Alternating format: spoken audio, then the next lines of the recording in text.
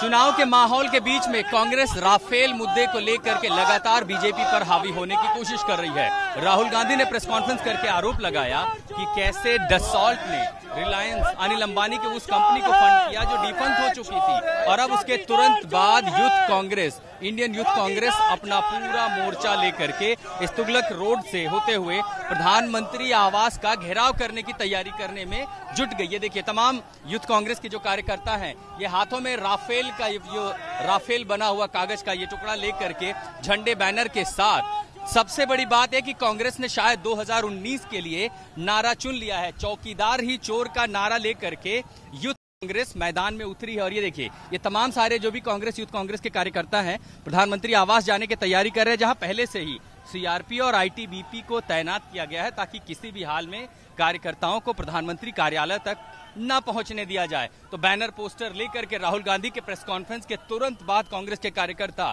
राजधानी में प्रधानमंत्री के घर का,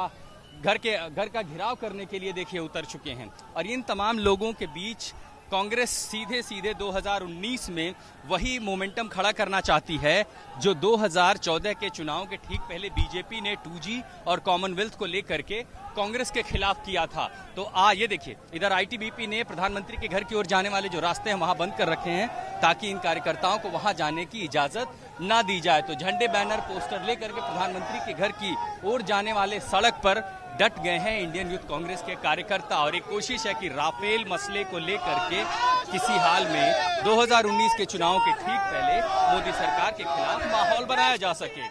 दिल्ली तक के वीडियोस को देखने के लिए चैनल सब्सक्राइब करें और बेल आइकन का बटन दबाएँ।